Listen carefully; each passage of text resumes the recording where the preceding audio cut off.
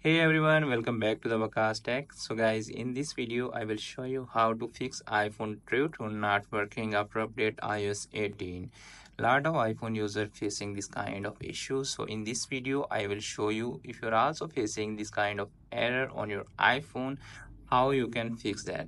So let's start video without wasting any time. First of all, make sure you don't have any hardware issue in your iPhone True Tone if you have any hardware issue in your iPhone, just contact the nearest Apple store, they will fix. So let's move to the software solution. First of all, force to restart your iPhone to fix True Tone not working.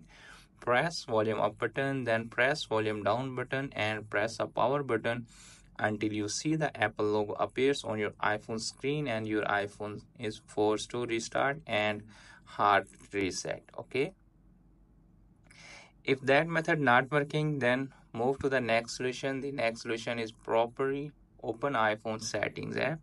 In settings app you need to scroll down below tap on general. After tapping the general you need to scroll down below again and tap on transfer or reset iphone okay?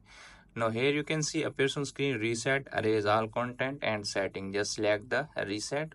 And after that reset all setting okay and apply it on your iphone. By do that simple step you can easily fix that. If that method is also not working for you and you're still facing the same issue then move to the next solution. The next solution is open iphone settings again. In settings section you need to tap on general. After tapping the general you need to scroll down below again okay? And tap on shutdown and restart your mobile after 5 to 10 seconds okay? If that method is also not working and you're still worried about the same situation and you want to fix that your True Tone not working then move to the last solution. The last solution is downgrade your iphone to the previous ios and it will fix your issue so friends after watching this video i hope you will all know how you can fix that your iphone True Tone not working after update ios 18 hope this video is helpful for you. If the video is helpful for you don't forget to share and subscribe my youtube channel and press the bell icon for upcoming videos notifications. Thanks for watching